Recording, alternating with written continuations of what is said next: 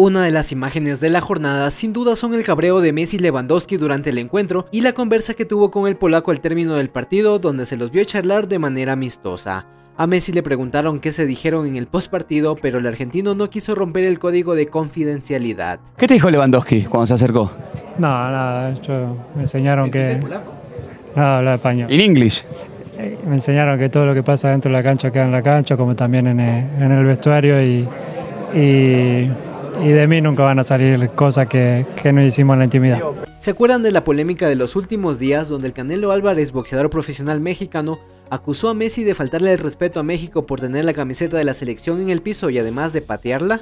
Pues Messi se mantuvo en silencio todo este tiempo, pero después del partido de hoy contra Polonia y de clasificar a los octavos de final, el capitán de Argentina habló sobre este incidente y dejó claro que nunca faltó el respeto a nadie y que no tiene por qué pedir disculpas.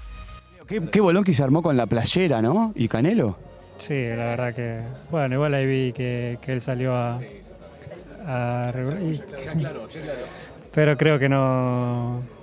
Fue un malentendido, que, que el que me conoce sabe que, nunca falto respeto a nadie, que es parte de, un vestuario lo que pasa después de, un partido, el dejar la camiseta ahí y, no, no hay más. Eh, es más, ni tengo que pedir perdón porque creo que no le falté respeto eh, ni a la gente de México, ni a la camiseta, ni, ni, a nadie. Eh, pero bueno, ya, ya quedó ahí, no pasa nada.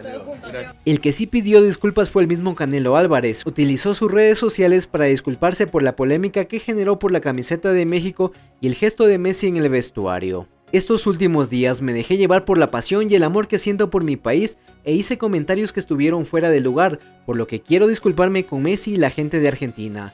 Todos los días aprendemos algo nuevo y esta vez me tocó a mí.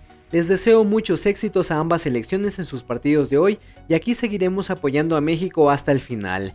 De esta manera el Canelo Álvarez pedía disculpas antes de que se jueguen los partidos de la jornada. A pesar de sus buenas vibras, la selección azteca no pudo clasificar a pesar que estaba a un solo gol de la clasificación. Lastimosamente Arabia Saudita marcó un gol en los minutos finales y todas las esperanzas se fueron al piso. La selección de México del Tata Martino quedó eliminada en fase de grupos de la Copa del Mundo.